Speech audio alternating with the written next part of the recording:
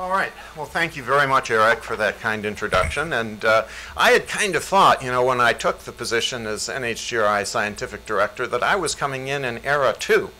And it only became evident about three weeks later, after October 10th, 2010, when there was uh, the uh, famous Tea Party election, that things were much different uh, for us than, uh, than what I had originally anticipated. But in any case, it's, it's been a lot of fun. It's been a challenge. It's really been uh, uh, uh something that has uh, made us think a lot about our priorities, and I hope that over the course of the next uh, few minutes we can talk at least a little bit about that. Just to give you an overview of what I'm going to talk about uh, this afternoon, we'll start out just with some general things with regard to the intramural research and the in the NHGRI, a little bit of its history, some of its uh, current accomplishments, and then uh, I'll at least give you uh, an overview of the vision statement that Eric alluded to. Uh, we'll then get into the nuts and bolts of the intramural program, at least uh, a little bit, uh, talking about space, personnel, and funding. Uh, and then finally, we'll settle on the challenges and opportunities, uh, the two major ones of which are maintaining the scientific excellence of the program and uh, uh having an equitable way of allocating resources, particularly in constrained budgets. So in any case, just to get started uh, with this, uh, the history of the NHGRI intramural program, as Eric said, it was established in 1993 uh, by Francis Collins upon his recruitment as director of the then uh, National Center for Human Genome Research. And Francis, I understand, actually did uh, really want to have an intramural program. And uh, part of the reason for that was to have it do something that was a little bit different uh, from the extramural activities of the Institute. So the extramural uh, activities of the Institute were focused very much on developing the infrastructure uh, for the Human Genome Project, whereas the intent for the intramural program was to capitalize on the unique resources of the NIH intramural environment to establish a world-class program in genetics, genomics, and genomic medicine, and secondly, uh, to catalyze a genomic transformation of the intramural programs of the other NIH institutes. And at that time, I was actually in NIAMS, the National Institute for Arthritis, Musculoskeletal, and Skin Diseases, doing positional cloning uh, in a different institute, and we really did look uh, to uh, NHGRI or uh, NCHGR, as it was uh, called uh, at that time, uh, as really a catalytic force that would enable a lot of research directions that otherwise were challenging in the intramural program. Certainly with regard to the unique resources of the NIH intramural environment, the one that is uh, uh, most noteworthy, I suppose, is the NIH Clinical Center. Uh, at the time that N, uh, uh, NCHGR uh, established its intramural program, the building was just this part of it, this new uh, hospital complex uh, was opened in 2005, I think it is. Uh, but in any case, uh, it is uh, the world's uh, largest hospital dedicated just to research. it currently has 234 beds, I guess it is. All patients who are admitted to the hospital are admitted on a research protocol. Uh, and it really does afford all kinds of opportunities uh, for one to do uh, various clinical and translational and observational projects. And so it is an enormous uh, advantage uh, to be an intramural investigator uh, with uh, the availability of the clinical center. Other distinctive features of intramural NIH uh, include an institutional commitment to researchers over projects, a quadrennial, heavy, heavily retrospective review, uh, which then enables uh, perhaps uh, long-term studies that require stable funding, uh, and high-risk, high-reward projects that would be difficult to do uh, in an R01 uh, funded environment. Um, in terms of catalyzing the genomic transformation of the intramural NIH in the 1990s, I think it's fair to say that uh, the Institute, the intramural program, had an enormous impact. And I've just listed some of the uh, projects on this slide uh, and uh, the uh, institutes that were involved. Uh, these are, for the most part, projects that were initiated by people in the other institutes, but that drew upon some of the resources and the expertise uh, that was brought to campus by the, uh, the Genome Institute. And so, for example, uh, the uh, identification of ALPS, autoimmune lymphoproliferative disease in NIAID, uh, the identification uh, by Marston Linehan of various kidney cancer genes, endocrine, endocrine neoplasia genes in NIDDK, tumor suppressor genes by Constantine Stratakis and child health, and so forth. Uh, so that it really did, uh, the Institute had an enormous impact more broadly uh, in the 1990s. And another example of this uh, was Jeff Trent's uh, pioneering work uh, with regard to microarray gene expression technology. currently, there's a lot that's going on in the uh, intramural program of uh, the Genome Institute, and certainly I don't have time. Uh, Eric did not uh, give me the three hours that I had asked for uh, to talk to you. Uh, uh we were going to send out for pizza even, but uh, so I'll just list a few of the high points of some of the things that have been going on in the intramural program in the recent past, such as Ellen Sidransky's work showing that Gaucher mutations are very important predisposing factors for Parkinson's disease. Bill Gahl and the uh, Undiagnosed Disease Program uh, and uh, the recent New England Journal paper on uh, genetic form of arterial calcification, as well as a Nature Genetics paper on gray platelet syndrome. Max Muenke has been doing genetics of holoprosencephaly and re really is a world leader in that field. Les Biesecker finding somatic uh, AKT1 mutations in Proteus syndrome. Francis, of course, uh, with his work on progeria.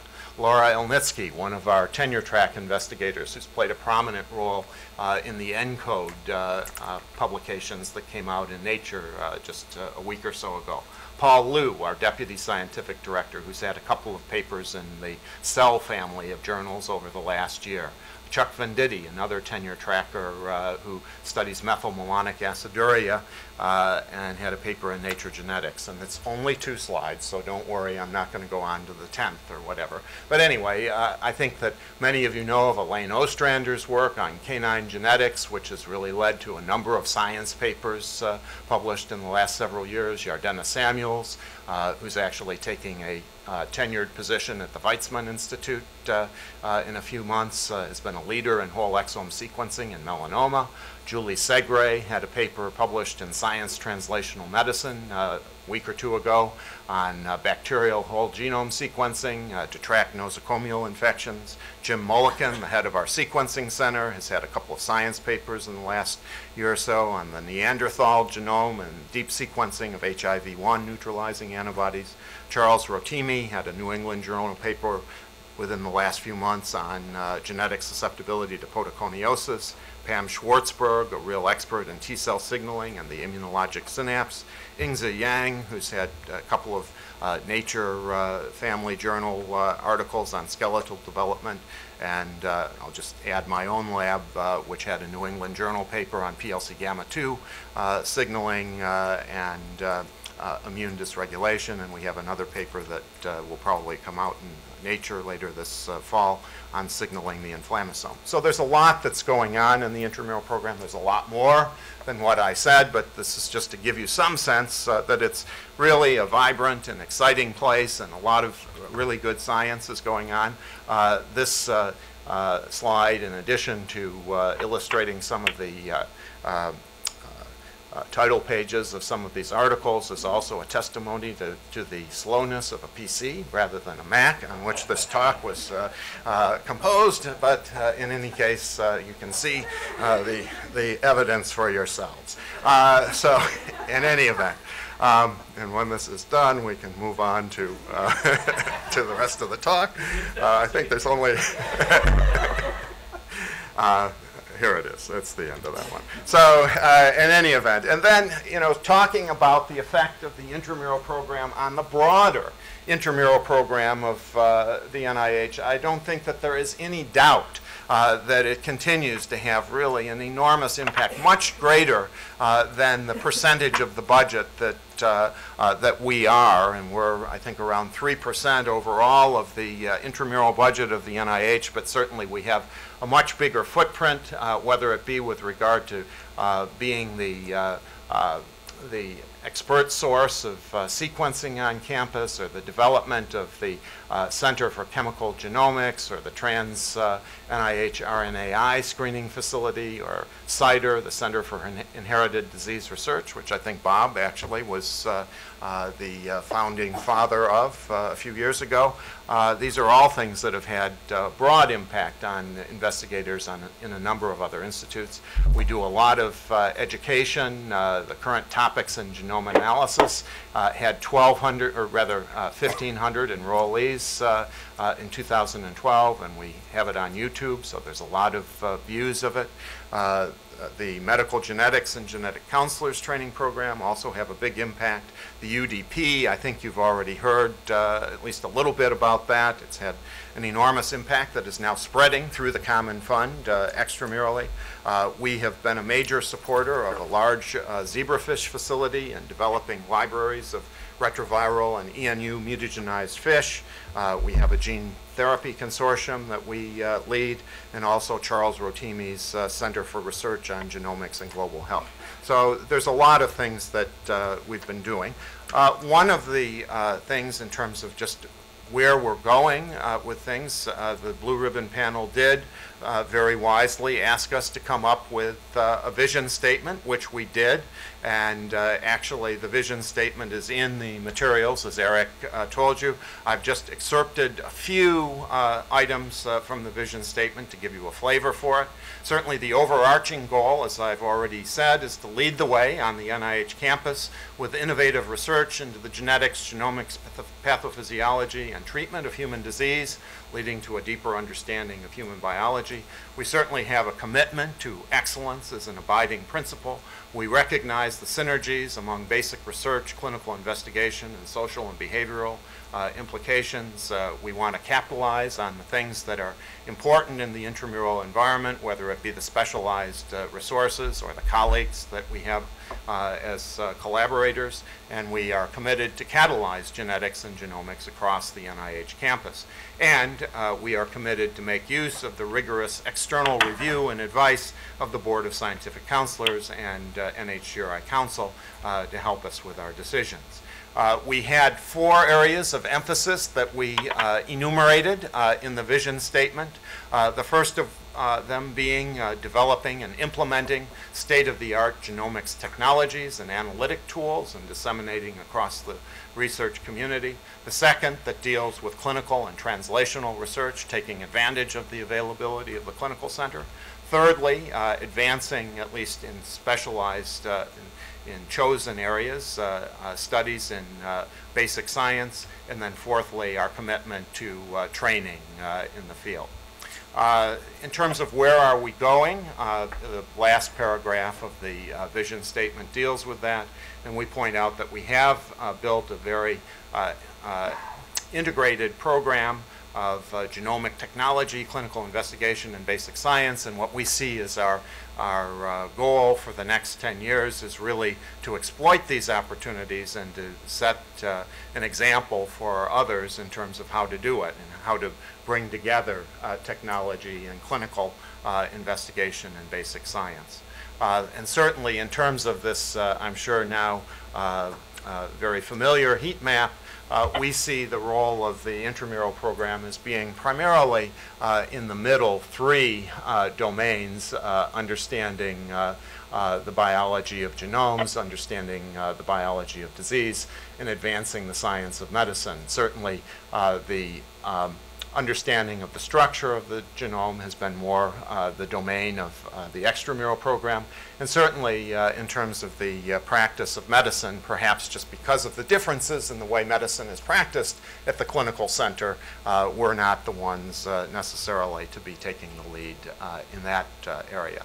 In terms of the nuts and bolts of the intramural program, at least as of this year, we uh, are spread out uh, across the campus. We're actually in seven different buildings on campus and a couple of buildings uh, off campus. Uh, the uh, personnel are uh, broken down, the scientific personnel are broken down into seven different branches illustrated on this slide. Altogether, we have 45 investigators in the intramural program. Uh, Of them, uh, 23 are tenured senior investigators, six of them are tenure track investigators, and then we have 16 associate investigators that are sort of uh, like the uh, research uh, faculty uh, at a academic medical center. We also have nine adjunct investigators who are actually in other institutes, but have a special collaborative relationship with our institute. This slide just shows the photos of the uh, individuals who are our faculty members. Uh, Altogether, our personnel uh, census is about uh, 520 uh, individuals uh, in the intramural program currently. Uh, In addition to having the various research laboratories, we have eight different cores uh, shown on this slide. We have the NIH Intramural Sequencing Center, uh, which is basically a mid-sized genome sequencing center that provides next-gen sequencing and sequence analysis. Its total budget is about $7 million out of a $104 million dollar total budget for the intramural program. Jim Mullikin uh, is the director. There's a staff of about 36. They have three uh, HiSeq 2000 machines as well as uh, several other uh, sequencers, and they really uh, have uh, been extremely collaborative with intramural investigators being involved in a lot of disease gene uh, investigations. Uh, The undiagnosed disease program, I think you've already heard about, but just uh, briefly to summarize, it's a trans NIH intramural uh, initiative established in 2008 by Bill Gahl, who is our clinical director, uh, and sees patients with seemingly inexplicable conditions referred from throughout the country. Uh, and they do comprehensive clinical and molecular analyses of these patients that are accepted into the program. They've discovered uh, a number of heretofore unknown molecular lesions defining new genetic diseases and have been a catalyst for follow-up projects in the categorical institutes. In terms of funding, Eric has already told you a little bit about that, you know, about the time that Eric uh, took uh, uh, the position as scientific director, things flattened out, uh, and then I assumed the scientific director uh, position here. And actually, um, and we'll talk about this in a little bit, uh, the, uh, the real dollars that we have to, to deal with are perhaps uh, at this point uh, becoming a bit more constrained just because of the fact that there have been a number of things that we've tried to do to keep things going, but uh, there's just so much. And with inflation, it's becoming harder and harder to keep everything going at the uh, juggernaut pace that we would like it to uh, continue. Uh, Overall, uh, the uh, NHGRI is 1.7% of, of the NIH budget. We are 3.1% of the overall intramural budget. That's because of the fact that we do receive 20% of the uh, overall resources, uh, budgetary resources of the institute, whereas many of the other uh, institutes have only 10% allocated to their intramural programs.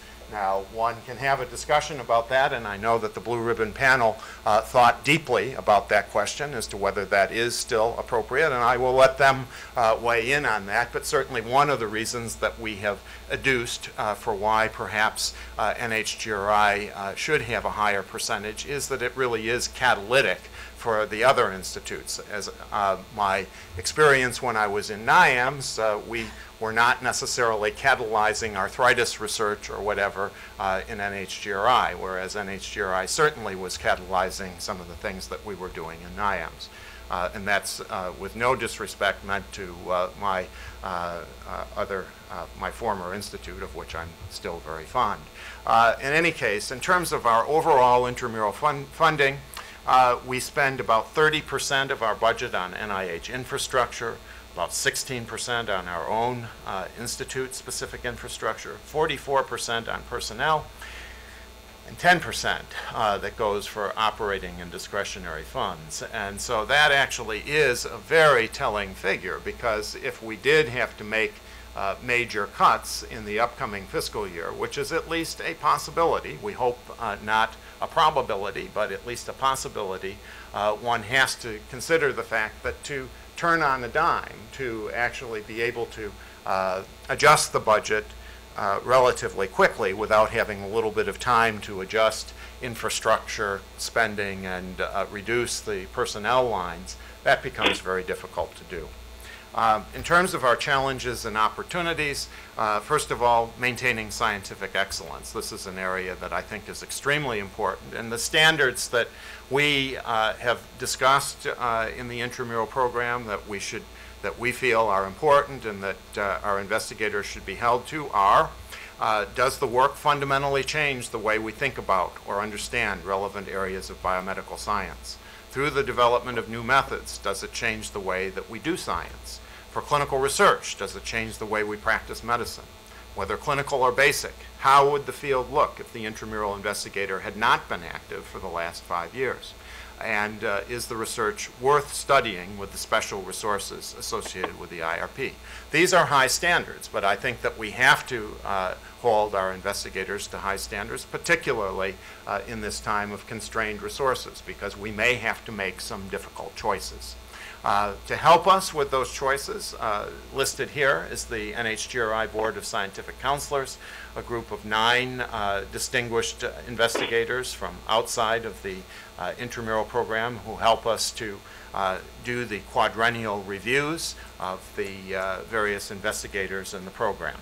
and um, over the course of the last, um, I guess, six months or so, uh, we have developed uh, some new standards, some new approaches in terms of the review process. Uh, we've implemented a more standardized format uh, that is about 50% retrospective and 50% prospective.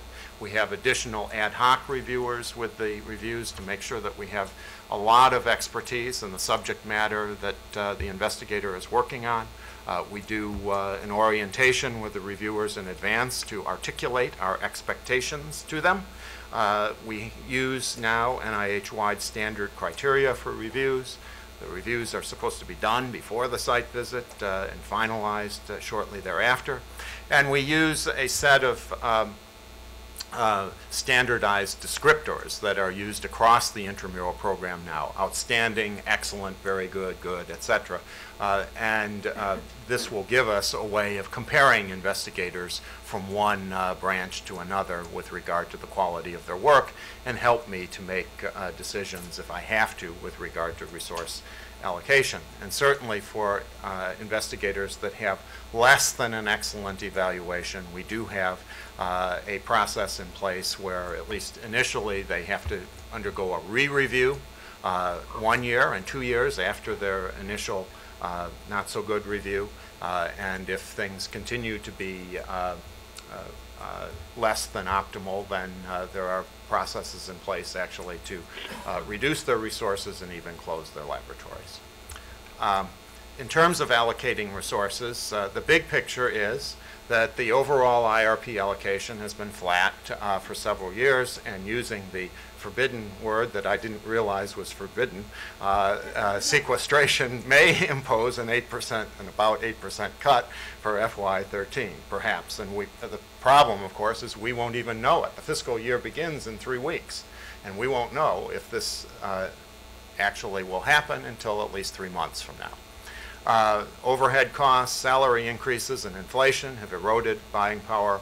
Options to raise monies from non-federal sources are extremely limited in the intramural program because of ethics uh, rules that I'm sure some of you are now uh, uh initiated into uh, through your uh, service on the council. Political gridlock begets budgetary uncertainty. In other words, we don't know what the budget's going to be next year, so it's a problem in terms of making commitments for large-scale allocations of monies. Since I became the scientific director on 10-10-10, uh, we've implemented about 15% across the board cuts for all tenured uh, intramural investigators, comparing the proposed FY13 budgets that uh, investigators are getting versus the FY10 budget that they had before I came. Um, and uh, we have suspended three uh, tenure track recruitments for budgetary reasons and have made no major capital equipment purchases in the last two years. So those are the facts. Um, uh, we have implemented a new budgetary model for our investigators uh, and that is that uh, in the past we had a formulaic uh, system of allocating budgets where if an investigator at a certain uh, sort of point in his or her career, had a certain number of people in their lab. The salaries of those people were taken care of centrally by the Office of the Scientific Director, uh, and then uh, they would get an allocation based on the number of people in their labs. Because of the fact that we are making these cuts and that it really gives people perhaps a little bit more freedom to make decisions as to how they spend their money, they're now getting a lump sum allocation, and at least within uh, the law, in terms of civil service requirements and so forth, they can spend the money as they choose in terms of personnel versus uh, uh, supplies and equipment. Uh, allocations, at least initially, are being determined by historical factors, in other words, what people were getting last year, but subsequently they'll be adjusted based on productivity and excellence with strong input from the BSC. Uh, we're going to try to reestablish a centralized reserve fund for compelling opportunities and, and or contingencies. And this last year, actually, uh, the investigators were very good about saving money, which we are now, uh, as much as we can, uh, channeling into contracts that will perhaps uh, buffer any uh, budgetary cuts that we experience next fiscal year. Uh, we have established a review panel to allocate subsidized sequencing resources at NISC, and uh, this whole new approach uh, has required new accounting measures and a change in the culture among both our investigators and our administrators. So anyway, to summarize uh, this uh, cheery uh, talk, uh, first of all, the NHGRI IRP is a vibrant research enterprise, and I really do believe that, and I am extremely proud of it and positive about it, and, and do feel that it's, it's a wonderful uh, uh, opportunity to be its scientific director, uh, with a commitment to excellence and a focus on genomic medicine and fostering genetic and genomic technologies throughout the NIH intramural community. The IRP has recently strengthened its quadrennial scientific review process to reinforce this culture of excellence going forward. Finally, prompted by the current limitations and uncertainties of federal funding, the IRP is implementing administrative changes aimed at maximizing productivity within budgetary constraints. And that's 30 minutes exactly, which for me is quite a feat. Um, So actually, Dan, let me um, have you address a question that got raised earlier that I deflected or delayed until you were here, is maybe just say a few words about uh, the clinical center, which you introduced us to, but um, uh, the, the question, and Bob, you can weigh in to get more specific, just sort of what's the health and well-being of the clinical center with respect to, you know, how much it's being utilized relative to its capacity, but also there's been lots discussed, debated, and even written about sort of the financial woes of the clinical center with the rising costs of medical care in general and being embedded within the intramural program, flat budgets, everything else, and so sort of what's its fiscal situation? Yes. Okay, so uh, first of all, with regard to the utilization of the clinical center, uh, about maybe five or six years ago, there was concern that it seemed that uh, intramural investigators weren't uh, utilizing the clinical center as much as they should be, and the occupancy uh, of the hospital was more in the uh, 65 to 70 percent level than more in the 80 to 90 percent level that we would like to have seen. But basically, uh, a number of the institutes responded to that by uh, encouraging clinical and translational research within their intramural portfolios with regard to recruiting more clinical and translational investigators. And so actually, at this point, the utilization of the clinical center is, is very good and, and uh, is more in the uh, 80% level uh, uh, most of the time. Uh, as far as the uh, funding stability of the clinical center, well, I can tell you it's not rolling in dough. There's no question about that. The clinical center is funded for the most part by uh, a so-called school tax, uh, which is a tax on each of the uh, institutes that uh, has a program on the Bethesda campus that currently amounts to, I think it's about 14% of our overall intramural budget. So that means that for us in NHGRI, who have an intramural budget of around 100 $100 million, we pay about $14 million to the clinical center. Off the top, Doesn't matter how many patients we use, uh, it's just $14 million that goes straight to the clinical center. And the whole idea behind that was that it would encourage uh, the institutes to utilize the clinical center if they were paying this amount of money, whether they used it or not. And so, you know, the idea was that, well, uh, if you're going to be paying that amount of money, you may as well at least have a program that uses it. Uh, so uh, the current budget for the clinical center is around, I think, $380 million a year, somewhere in that uh, ballpark, uh, that is basically raised through these uh, school tax uh, monies. Um, it has been difficult for the clinical center because of the fact that uh, medical inflation is going up higher than the rate that they are getting money through the school tax. Because after all, if the budgets of the intramural programs of the institutes are flat, that, and your tax rate is flat, then you're going to be getting the same amount every year. And if there's medical inflation, then you know you're not you're going to fall behind. And so that has been a problem. Uh, the uh, Clinical Center has dealt with that in several different ways. One of them uh, has been to shift the cost of some of the clinical research back to the institutes so that, for example, certain things that had been paid for by the Clinical Center in the past are now the responsibility of the participating institute. That certainly has been uh, one of the uh, ways that that's been done. ARRA funding did help out uh, with some major capital uh, equipment purchases back a couple of years ago, scanners and that sort of thing, so that has helped. Uh, and then there's also uh, uh, the possibility that the clinical center will get at least some additional resources based on the fact that um, the clinical center is being opened to investigators in the extramural world through a new grant uh, mechanism that would allow extramural investigators to collaborate with intramural investigators uh, with regard to certain kinds of projects and might, for example, collaborate with regard to cohorts of patients with rare diseases that we follow uh, uh in the intramural program. And so that may, uh, through uh, mechanisms that haven't been totally worked out uh, allow for a little bit of uh, supplementation of the clinical center budget as well, if it is regarded as being uh, sort of a resource for everyone, not just the intramural program. Bob, does that answer your question? Yeah, it, it does, but I thought then it might be worthwhile for you to also to talk a little bit about staffing, um, uh, physician staffing in the clinical center, in terms of uh, who are who are these folks? Do they all uh, are they all investigators in institutes? Um, and the reason I'm asking this is that I've had some experience with the undiagnosed diseases program where there is some skewing as to which kinds of patients are chosen to be investigated to some extent depending on what are the perceived strengths and weaknesses in various subspecialties within the clinical center.